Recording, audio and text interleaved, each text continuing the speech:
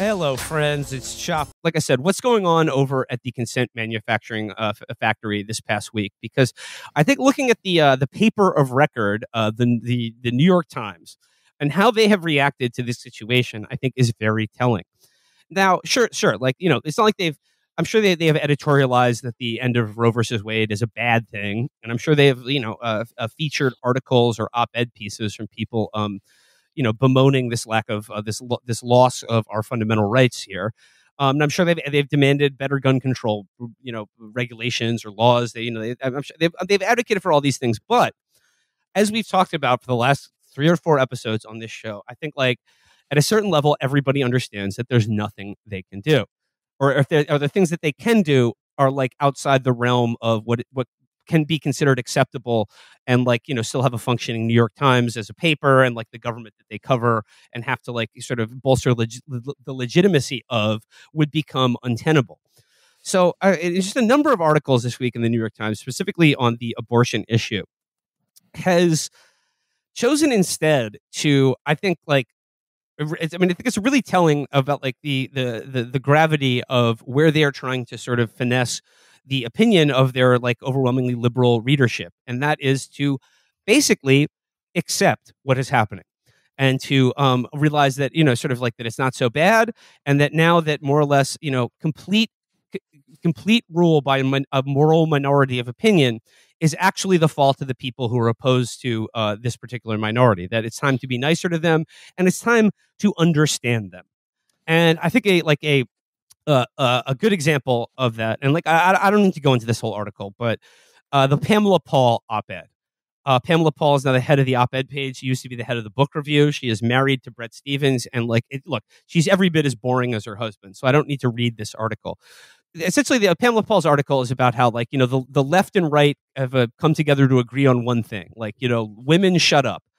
And she spends the first paragraph of the article talking about, you know, abortion being criminalized. Then she spends the next eight paragraphs making a moral equivalence between the criminalization of abortion and what the extreme right wing and their stranglehold over the judiciary is about to do to women in this country, and essentially like pronouns and trans people. And like, you know, saying that, that, that both are equally a threat to women. And I think what's going on here is that what they're offering women in the face of the fact that their rights are being taken away from them and they're being taken away from them by a system that the New York Times is complicit in supporting is not to you know uh, demand or ask anyone to fight for those rights or to resist this but what they're giving them instead is uh, trans people to shit on and like to, to point to them as the reason for why this is happening. Rather than at anyone with actual power they're going to basically give permission to i think a large swath of their liberal readership to blame uh, you know, uh, trans women and trans people like as a whole for for, for their loss of rights. And, and gay people too, like like they're going to point to you know to put to trans people as like oh okay like like they're the ones that have gone too far and they have provoked this backlash. And like I said, I think it's this like using their authority to give permission to people to like and, and cajole them not to get angry at you know the Supreme Court or our political system, or like I said, the moral minority that is now um, using the force of law to impose their views on the rest of the country, but to blame it on and attack a particularly vulnerable and small minority group. I mean, like, it, it doesn't matter if people are like um, Gen Xers or Boomers. The only thing that a lot of people remember, regardless of whether they lived through it or not, is George McGovern. So, like, their their take on this, the the, the, the past few years all they're seeing is like, oh no, we just we need to do Bill Clinton again. We need to do exactly 1992 because we're in the exact same conditions. And instead of having like a Sister Souljah moment, and yeah, we can also have one of those. We're we're going to do this. I mean, it's got to be the, the, the blame has to go somewhere away and down. It can't go up because that that has implications uh, that that no one at the New York Times and nobody who really reads the New York Times is interested in confronting. So I mean, and and you know, people say like this stuff is used by like hate mongers to justify, and it's like to an extent that's true, but like the the real goal of this is just to give you a narrative, as you're saying, uh, of of blame that allows you to just continue not doing anything uh, because there's nothing to do. Like you see it with the Democrats uh, all the way up to the top, like that article we were talking about. I gotta, I actually want to read, go back and read the last line in that Biden article if I can find it. Okay, uh, last paragraph is beginning with uh, the country didn't elect Joe Biden. Yeah. Biden has been batting away complaints that he's out of sync with his party since before he launched his presidential campaign.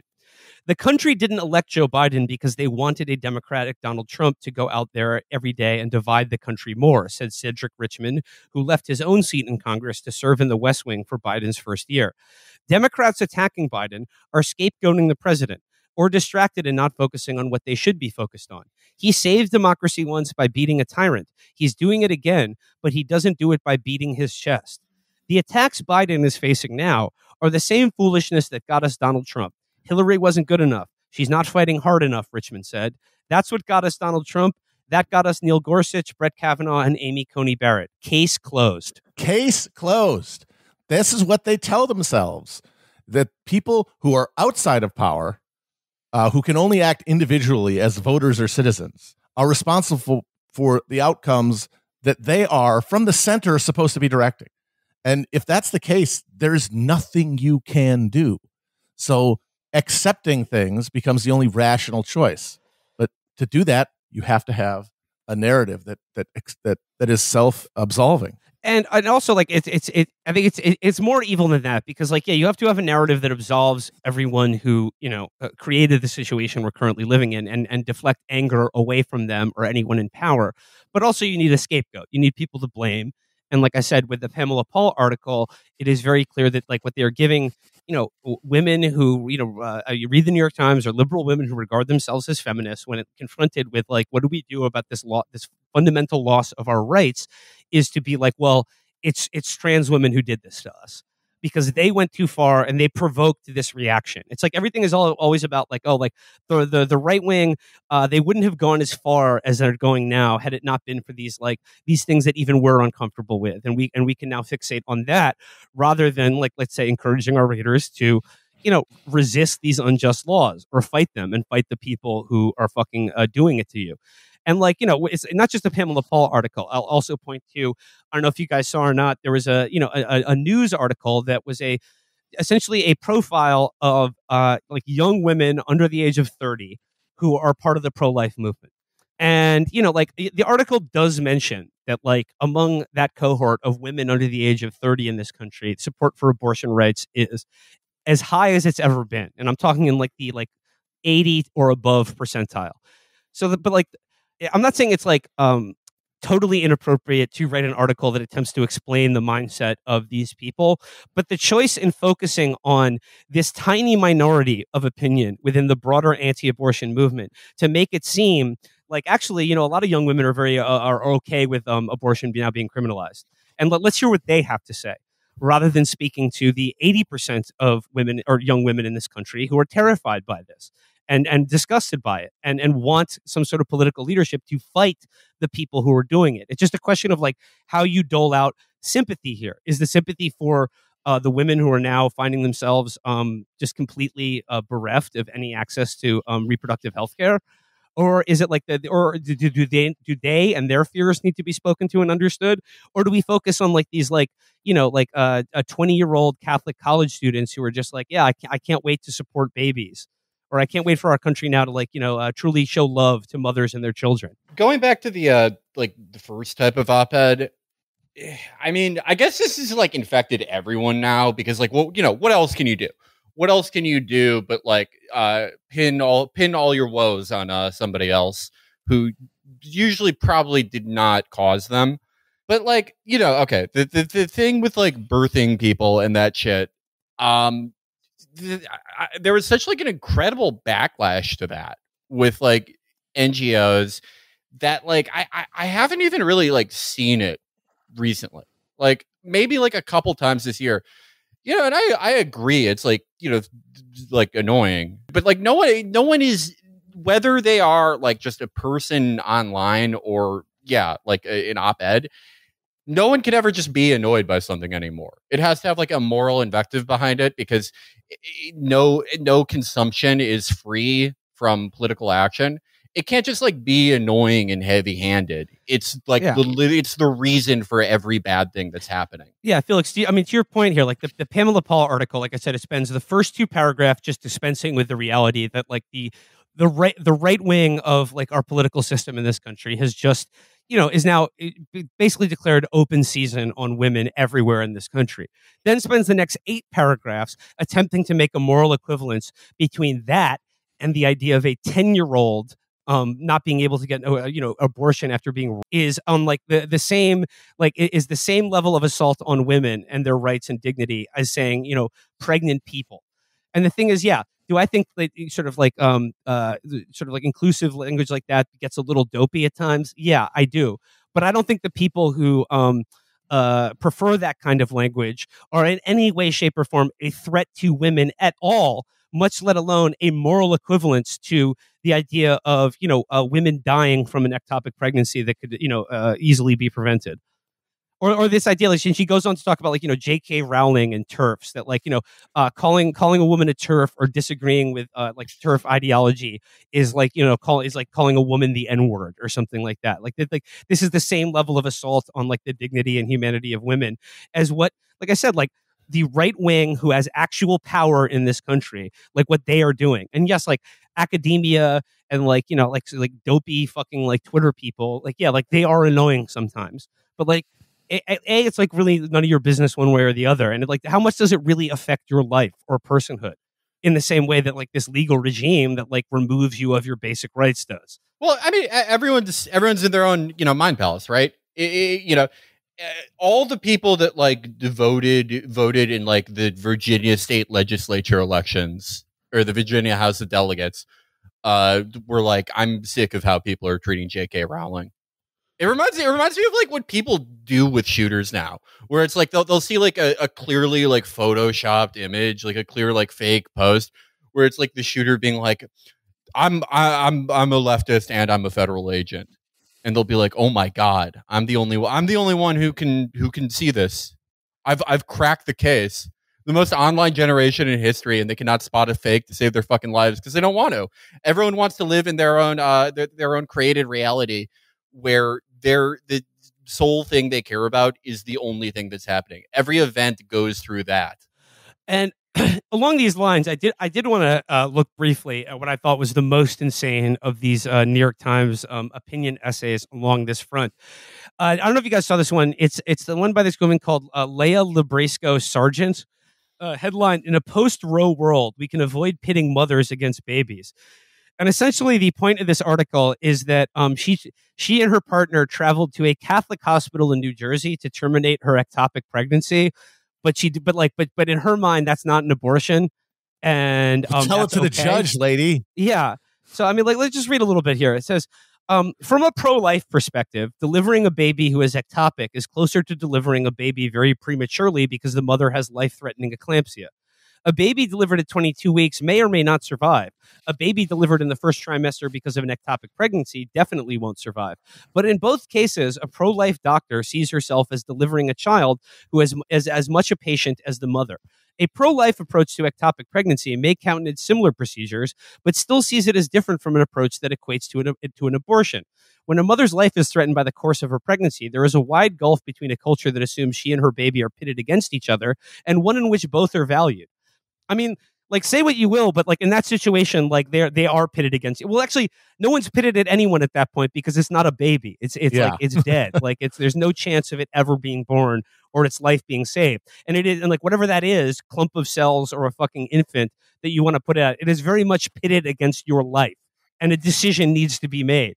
And the thing is, she made the decision that anyone would, but is now claiming for herself this idea that like, oh, it's actually I, I didn't get an abortion even though like the, you, the, the procedure that she underwent was exactly the same thing as everyone else gets in that situation and is now being denied uh, women in her position all over this country. Well, what she wants is just like basically a concierge service to give her a, a uh, like an elevated uh, abortion experience with essentially just uh, the trappings of of uh, of uh, a delivery, so that she can personally like resolve the cognitive dissonance of being confronted with something that in her mind is like not a not a legitimate medical procedure. Now she knows it is, so she has to. Oh well, time to just build uh, a new justif- justification edifice around this fact because, as Felix said, you get to do your own bespoke reality now. If you want it to be actually this is this isn't an abortion. It's it's a it's a it's a pregnancy plus. Then what are you going to do? No one's going to stop you, and somebody is going to be there who w- wants to have the same fantasy, and they're gonna they're gonna sign on. Yeah, this is the uh, this is also the official country of uh, mine is different. Yes, uh, mine doesn't count. And also, like, uh, w- whatever, um, however she justifies this by saying that, like, you know, we went to a uh, like a Catholic doctor who delivered this ectopic pregnancy um, as if it were alive, even though it was dead, and you know, used the exact same procedure as what is you know considered an abortion um yeah like i in my head like you know uh, th- this now we don't have to pit mothers and babies against each other it's like whatever's in your head doesn't matter lady yeah it doesn't matter for the women in texas or elsewhere who now have to be flown across state lines to have their lives saved and it right. won't like fucking help you if you lived the, in a different sort state. of uh, nuance that she's uh, insisting upon is not possible uh, in a legal regime because it's about drawing bright lines and imposing penalties which stops people from doing things. She says here, uh, the specifications for surgery remain the same, whether the surgeon is pro life or not, whether the mother kept repeating baby to her nurses or stuck to saying pregnancy. But I wonder if an observer in the operating room could have seen the difference. If my surgeon was visibly more tender as he worked, knowing he could be the first person to see our child, a child who would not ever see us. Doctors can't value women more by dismissing our babies as worth less. Even women who support abortion access may find it jarring to have their child's life dismissed when they hope they would hold this baby. It's better to be honest about tragedy and loss than to pretend that only one person is on the table. So, I mean, the thing that's unspoken here is that at an abortion, like the doctor just like he comes in and he puts a cigarette up, butt uh, out in your fucking navel, and then says, "All right, let's scrape this fucker out." Is that what the assumption here? Yeah that like they do it wrong because they don't uh, value the baby. Like she's talking, the thing she's imagining, I cannot believe actually exists anywhere. Well, yeah, I mean, if you ever if you ever wanted uh, proof that American Catholics are Protestants, I mean, yes, they, they they've moved predestination up now, where it's actually every event of your life. Yeah, every like they, they, they can look outwardly the same, but if you're a bad person, when you get an when you get an abortion, your doctor is Jamie Kennedy from the Roe v. Wade movie and he sticks his hook okay, nose up your cunt and, so I can make brains the baby with his with his Shylock nose, and then uh, like put, puts a puts a hundred dollar bill in your asshole and gets change for it, it uh, just like out of your urethra like a Coinstar. Uh, but if you're like a good person, if you're if you're religious, if you're Catholic, you you go in there and you're like, hey, I want my assuredly dead baby delivered, and the doctor is like, absolutely. And the, you, you, feel no pain and it comes out and he's alive but uh, then he's just he's needed in heaven.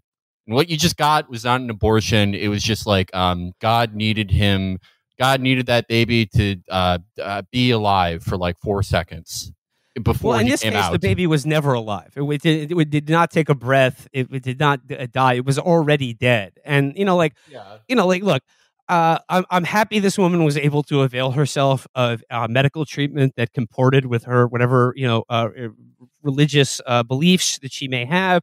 But the thing is, like necessarily, uh, if we as a society are going to begin catering to those religious beliefs at the expense of everyone else, it doesn't fucking matter. And I don't, I don't, I like, I don't really care. And also, it's just like back to my original point, like why the paper of record in this moment in time at this like fundamental like like rupture in American history and culture? Do they feel the need to um, uh, hold up people like this as essentially like sympathetic or voices worthy of being included in this debate at the expense of the reality of like the not just the majority of opinion in this country, but what I would think like any reasonable person would fucking rate like the the the severity of like the kind of like the the scales of what's at stake here. And I'm just going to read one more thing here. Uh, she says, Speaking of um, sort of the uh, boutique abortion experience that um, she's hoping to have, she writes, I knew that the Trappist monks of New Melleray Abbey would send us a tiny coffin free of charge as part of their ministry to bereaved parents. My husband's my husband knew that if anything went wrong, I wanted him to order an adult sized one for me. We didn't get to bury our baby, and my husband didn't have to bury me. One surgeon had been right. Our baby died some time ago, and all he could find was the placenta. But while I recovered at home, we had something to know our baby by. We named this child Chameleon after St. Camillus de Lellis. He was a 16th century gambler who was treated so poorly by his doctors that he founded a nursing order and ultimately became a priest and saint. No, they named their kid after Chameleon Air. Come on. Yeah. we know. We know you like that song. It's just like w- like there's like the, the the anger that's that, that is being given voice to is like okay if you're angry about it the only people like seemingly that are uh, being being allowed to express their anger are the anger of people like Pamela Paul and J.K. Rowling and it's anger directed at trans people not at fucking right wing Supreme Court justices and the politicians that enable them and it's just like okay if there's sympathy to be made it out here if there's or if there's if there's if there's people's lived experiences that need understanding it's I'm sorry, it's this daffy fucking broad who's just like created some carve out in her head for her fucking religious beliefs that she that she is choosing now to take away from everyone else. And this that somehow that that's worthy of a fucking uh like uh is crediting uh, morally as a point of view. Yeah, I mean, it's about uh, validating your own fantasy world by invalidating what your you imagine somebody else's world as. You know, like you have to accept my head canon. Uh, that's basically what we're in now a battle of Well, it's saying like whose head canon uh, counts and whose doesn't. Yeah, And exactly. It's pretty clear what what, that, what the choice has now been made by. well like I, said, i mean the, uh, the, it- the it's not really a choice though is New it York like Times. who who else's who else's uh headcanon is going to count people with money and power and influence or people without like there's not that's not really a contest it's like the, Well- the water finds its own level there's no other choice they can make you know it just it speaks to the institutional realities and structures that that that govern like content at that level I just think, I mean, I like just these examples I've been talking about. I think it's very clear that, like, you know, the the establishment media, the consent manufacturers, are very clearly uh, like have decided, as you know, maybe rightly so, that there's nothing they can do about this, or like there's no going back now. So rather than encourage people to uh, resist this, I think they are very clearly choosing to cultivate a sense of sympathy with the people who are doing, who are who are inflicting this evil on the rest of us is that you know we, we should we should uh, be encouraged to see things from their point of view rather than our own or or to fight them at all